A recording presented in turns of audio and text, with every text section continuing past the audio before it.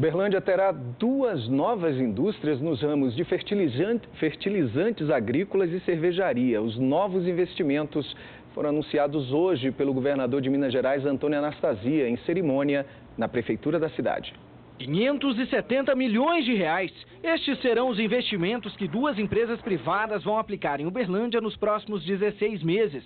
Uma das indústrias já está em funcionamento, é esta fábrica de fertilizantes, que fica na BR-365 na saída para Ituiutaba. Nela foram aplicados 20 milhões de reais para criar a maior indústria de fertilizantes organominerais do mundo.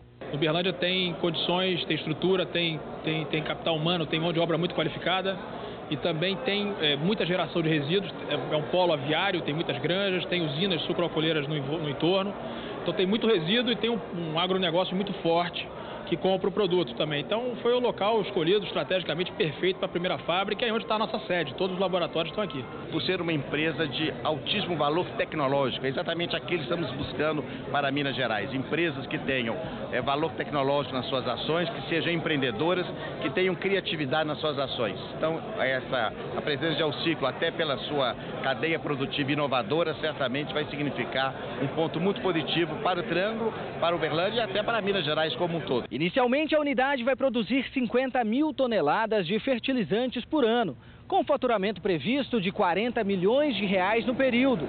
Mas já existe o planejamento para dobrar essa produção nos próximos dois anos e chegar à marca de 80 milhões de reais faturados anualmente.